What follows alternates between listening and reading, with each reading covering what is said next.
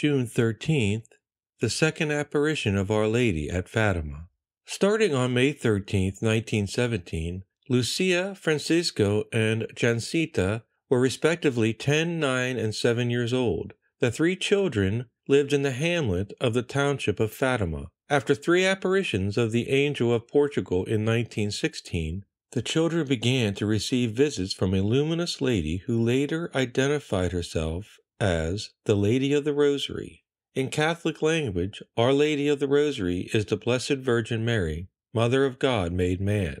The apparitions took place on a small property belonging to Lucia's parents, about a mile and a half from Fatima. On June 13, 1917, the second apparition of Our Lady occurred.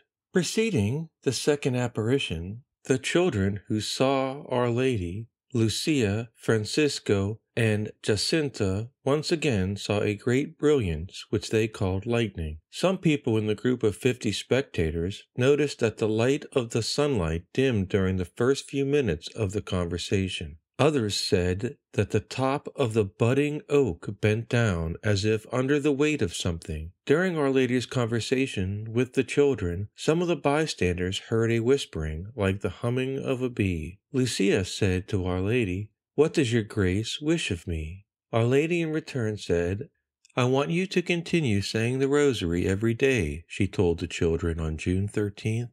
Then she gave them this new addition. And after each one of the mysteries, my children, I want you to pray in this way O my Jesus, forgive us our sins, save us from the fires of hell, lead all souls to heaven, especially those who are most in need. If our Blessed Mother, Our Lady of Fatima, Our Lady of the Rosary, tells us to include that, she must consider it something essential. When she appeared later, she would stress to the children to pray for poor sinners.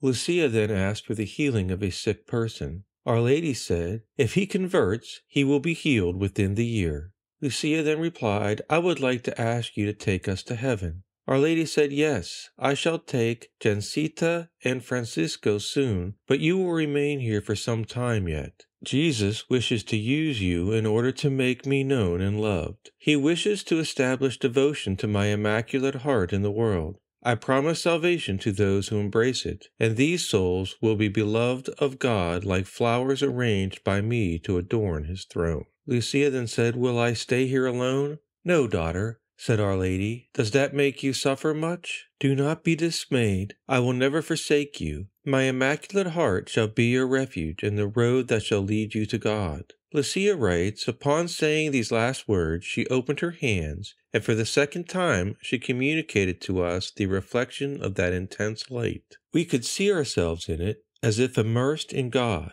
Jancita and Francisco seemed to be in part of the light that went up to heaven, and I in the part that was cast toward the ground. In front of Our Lady's right hand there was a heart encircled by thorns that seemed to pierce it.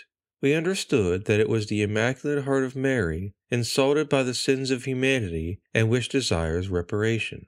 When this vision ceased, the lady, still surrounded by the light that she radiated, rose from the little tree and glided toward the east until she disappeared completely. Several persons who were closer noticed that the buds at the top of the oak were bent in the same direction as if they had been drawn by the lady's clothes. The branches returned to their usual position only some hours later.